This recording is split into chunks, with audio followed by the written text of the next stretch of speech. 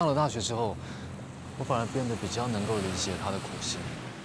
我也希望可以用实际的行动来孝顺我爸妈。宿舍只剩一个床位哦，玩到打地铺，好啊，来赌啊！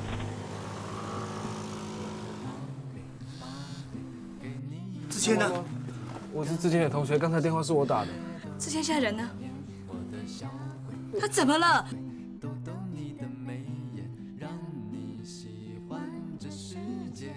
la la la.